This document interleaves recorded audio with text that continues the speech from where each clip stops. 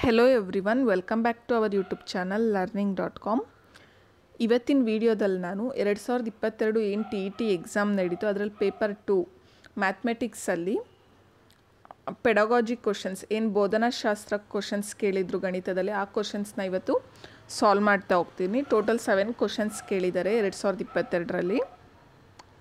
First one question first question. A student realized that square is both rhombus and rectangle. The stage of Van Hilles visual thinking is. ಒಬ್ಬ ವಿದ್ಯಾರ್ಥಿಯು ಚೌಕವು, ವಜ್ರಾಕೃತಿ ಮತ್ತು ಆಯತ ಎರಡೂ ಆಗಿರುತ್ತದೆ ಎಂದು ಗ್ರಹಿಸುತ್ತಾನೆ. ಇಲ್ಲಿ ವೆನ್ ಹಿಲೆಯವರ ದೃಷ್ಟಿ, ಚಿಂತನ, ಹಂತ ಯಾವುದು ಅಂತ ಕೇಳ್ತಿದ್ದಾರೆ. Options level one analysis level two relationship level three deduction level zero recognition ಇದಕ್ಕೆ right answer ಆಪ್ಷ್ option number two relationship ಅಂದರೆ ಹಂತ ಎರಡು, ಸಂಬಂಧೀಕರಣ. ಫಸ್ಟು ನಾವು ವೆನ್ ಹಿಲೆಸ್ ಥಿಯರಿ ಬಗ್ಗೆ ನೋಡೋಣ, ಏನಿದೆ ಅಂತ. Van Hiele's visual thinking theory ಬಗ್ಗೆ ನೋಡೋಣ. ವೆನ್ ಹಿಲೆಸ್ ಅವರು ಜಿಯೋಮೆಟ್ರಿಕ್ ಬಗ್ಗೆ ಮಕ್ಕಳು ಹೇಗೆ ಥಿಂಕ್ ಮಾಡ್ತಾರೆ ಅನ್ನೋದ್ರ ಬಗ್ಗೆ ಒಂದು ಥಿಯರಿ ಕೊಟ್ಟಿದ್ದಾರೆ.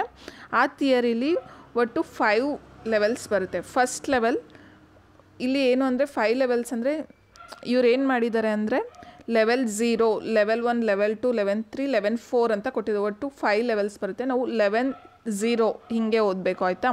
ಲೆವೆಲ್ ಝೀರೋ ಅಂದರೆ ಹಂತ ಸೊನ್ನೆ, ಏನಿದೆ? ವಿಜುವಲೈಸೇಷನ್ ಪರಿಗಣನೆ.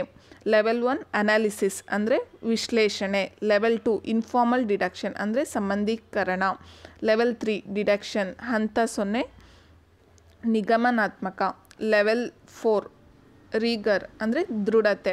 ಈಗ ಲೆವೆಲ್ ಝೀರೋ ವಿಜುವಲೈಸೇಷನ್ ಅಂದರೆ ಇದರಲ್ಲಿ ಏನು ಬರುತ್ತೆ ಅಂದರೆ ಮಕ್ಕಳು ಏನು ಮಾಡ್ತಾರೆ ಅಂದರೆ ಫಸ್ಟು ಅದು ಯಾವ ಶೇಪಲ್ಲಿದೆ ಯಾವ ಶೇಪ್ ಅನ್ನೋದಷ್ಟೇ ತಿಳ್ಕೊಳ್ಳೋದು ಲೆವೆಲ್ ಝೀರೋದಲ್ಲಿ ಅಂದರೆ ಇದು ಸರ್ಕಲ್ ಅಂದರೆ ಇದು ವೃತ್ತಾಕಾರ, ಚೌಕ, ಆಯತ, ಇದು ಲೆವೆಲ್ ಝೀರೋ ವಿಜುವಲೈಸೇಷನಲ್ಲಿ ಬರೋಂಥದ್ದು ಲೆವೆಲ್ ಒನ್ ಅಂದರೆ ಅನಾಲಿಸಿಸ್ ಇದರಲ್ಲಿ ಏನು ಮಾಡ್ತವೆ ಅಂತ ಅಂದರೆ ಮಕ್ಕಳು ಅಂದರೆ ವಿಶ್ಲೇಷಣೆ ಏನು ಮಾಡ್ತಾರೆ ಅಂದರೆ ಈಗ ಸರ್ಕಲ್ ಅಂತ ಅಂದರೆ ಅದಕ್ಕೆ ತ್ರಿಜ್ಯ ಇದೆ, ರೇಡಿಯಸ್ ಇದೆ ಡಯಾಮೀಟರ್ ಇದೆ, ಈಗ ಆಯತ ಬಂದರೆ ಇದಕ್ಕೆ ಫೋರ್ ಸೈಡ್ಸ್ ಇದೆ ಸ್ಕ್ವೇರ್ ಬಂದರೆ ಆಲ್ ಸೈಡ್ಸ್ ಆರ್ ಈಕ್ವಲ್ ಈ ಥರ ತಿಳ್ಕೊಳ್ಳುತ್ತೆ.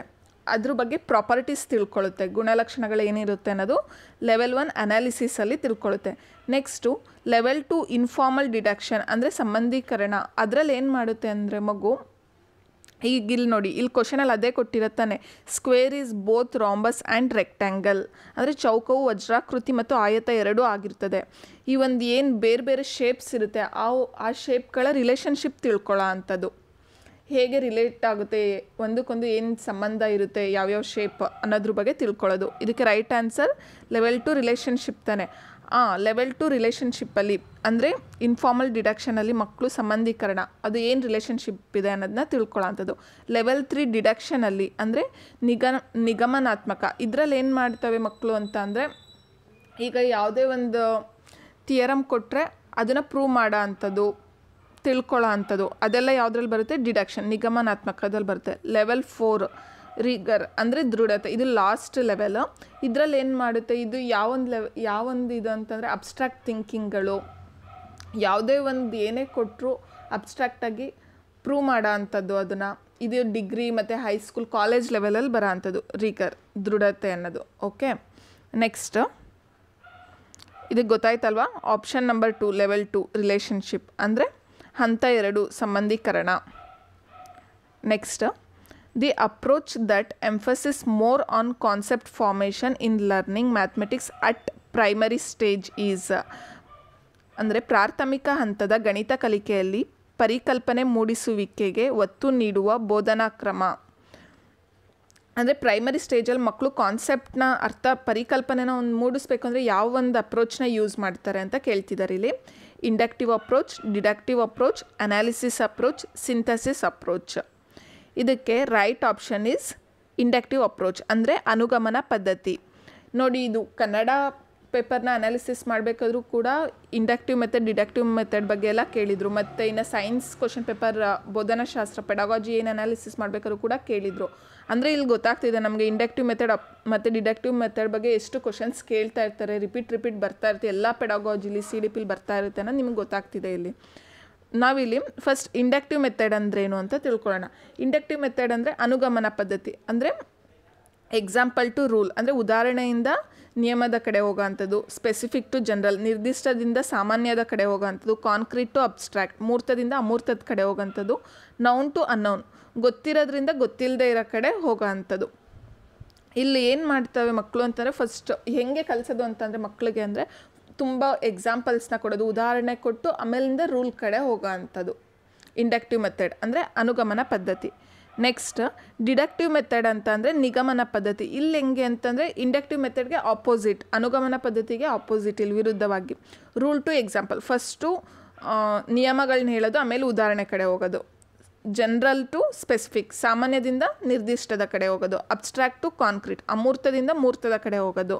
ಅನ್ನೌನ್ ಟು ನೌನ್ ಅಂದರೆ ಗೊತ್ತಿಲ್ಲದಿಂದ ಗೊತ್ತಿರೋ ಕಡೆ ಹೋಗೋ ಅಂಥದ್ದು.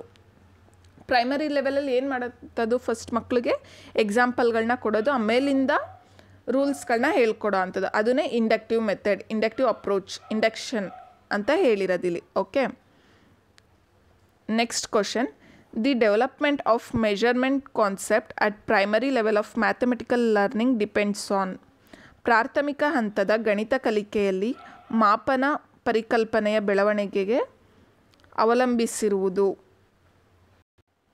Options conceptualisation and transformation conservation and transitivity conservation and focusing and ಕನ್ಸ್ ಕಾನ್ಸಂಟ್ರೇಷನ್ ಆ್ಯಂಡ್ ಕನ್ಸರ್ವೇಷನ್ ಇದಕ್ಕೆ right option is conservation and transitivity ಅಂದರೆ ಸಂರಕ್ಷಣೆ ಮತ್ತು ಸಾಗಣೆ.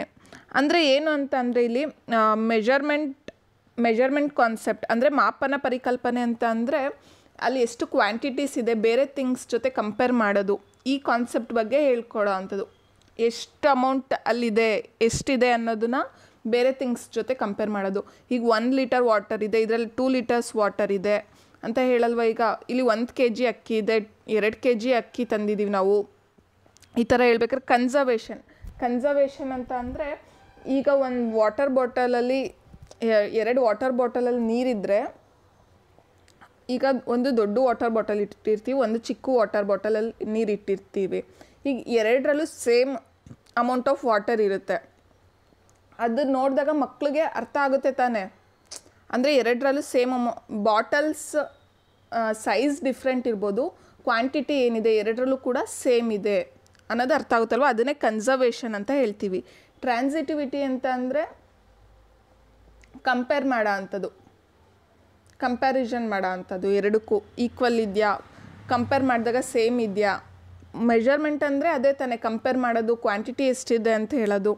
ಸೊ ಇದಕ್ಕೆ right option is conservation and transitivity next teacher distribute few pieces pieces of paper and thread to students and ask them to divide into two parts. In this teaching situation, the stage of 5 model is ಶಿಕ್ಷಕರು ವಿದ್ಯಾರ್ಥಿಗಳಿಗೆ ಕೆಲವು ಕಾಗದ ಮತ್ತು ದಾರದ ತುಂಡುಗಳನ್ನು ವಿತರಿಸುತ್ತಾರೆ ಮತ್ತು ಅವುಗಳನ್ನು ಎರಡು ಭಾಗಗಳಾಗಿ ವಿಂಗಡಿಸಲು ಕೇಳುತ್ತಾರೆ ಈ ಬೋಧನಾ ಪರಿಸ್ಥಿತಿಯಲ್ಲಿ ಫೈ ಮಾದರಿಯ ಹಂತವು ಫೈ ಮಾಡಲ್ಸ್ ಬಗ್ಗೆ ಕೇಳಿದಿರಲ್ವಾ ಇದಕ್ಕೆ right option is engage engage ಅಂತ ಅಂದರೆ ಮಕ್ಕಳು ಸ್ಟಾರ್ಟ್ ಮಕ್ಕಳಿಗೆ ಪಾಠ ಮಾಡೋಕ್ಕೂ ಸ್ಟಾರ್ಟ್ ಮಾಡೋಕ್ಕೂ ಮುಂಚೆ ಮಕ್ಕಳು ಟೀಚರ್ ಏನು ಮಾಡ್ತಾರೆ? ಮಕ್ಕಳನ್ನ ಎಂಗೇಜ್ ಮಾಡ್ತಾರೆ. ಅಂದರೆ ಅವ್ರಿಗೆ ಇಂಟ್ರೆಸ್ಟ್ ಬರಲಿ ಅನ್ನೋದಕ್ಕೆ ಎನ್ ಎಂಗೇಜ್ ಅಂದರೆ ತೊಡಗಿಸೋದು ಅವ್ರನ್ನ ಏನಾದ್ರು ಒಂದು ಆ್ಯಕ್ಟಿವಿಟಿ ಮುಖಾಂತರ, ಏನಾದ್ರು ಚಟುವಟಿಕೆ ಕೊಟ್ಬಿಟ್ಟು ಆ ಮಕ್ಕಳನ್ನ ಅವರು ಒಂದು ಪಾಠ ಮಾಡ್ತಾರಲ್ವ, ಅದ್ರ ಕಡೆ ಇಂಟ್ರೆಸ್ಟ್ ಬರಲಿ ಅಂತ ಮಾಡೋ ಅಂಥದ್ದು ಎಂಗೇಜ್ ಇದಕ್ಕೆ ರೈಟ್ ಆಪ್ಷನ್ ಇಸ್ ಎಂಗೇಜ್ ಯಾಕಂದರೆ ಮಕ್ಕಳು ಕಾಗದ ಕೊಟ್ಬಿಟ್ಟು ಅದನ್ನು ದಾರದ ತುಂಡುಗಳನ್ನ ವಿತರಿಸಿ ಅವುಗಳನ್ನ ಎರಡು ಭಾಗ ಮಾಡಿ ಅನ್ನೋದು ಹೇಳ್ತಿದ್ದಾರೆ ತಾನೆ. ಸೊ ಇದು ಎಂಗೇಜ್ ಇದು. ಇಲ್ಲಿ ನೋಡಿ ಫೈಸ್ ಮಾಡೆಲ್ ಬಗ್ಗೆ ಹೇಳ್ತಾ ಹೋದರೆ engage explore explain elaborate evaluate ಅಂತ.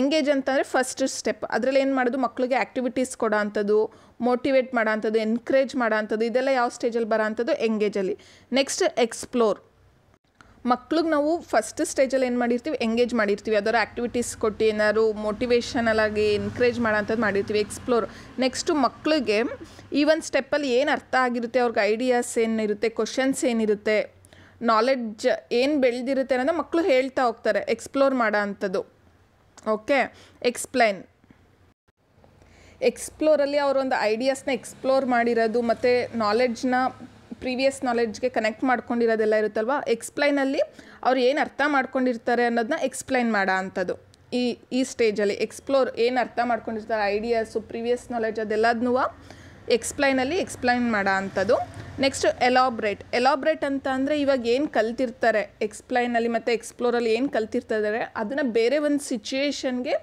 ಎಲಾಬ್ರೇಟ್ ಮಾಡೋ ಅಂಥದ್ದು ಅಪ್ಲೈ ಮಾಡ್ಕೊಳ್ಳೋ ಅಂಥದ್ದು last one is evaluate evaluate ಏನಂತಂದರೆ ಅದು ಕರೆಕ್ಟಾಗಿದೆಯಾ ರಾಂಗ್ ಆಗಿದೆಯಾ ಅನ್ನೋದು ಜಡ್ಜ್ ಮಾಡೋ ಅಂಥದ್ದು ಅಸೆಸ್ ಮಾಡೋ ಅಂಥದ್ದು okay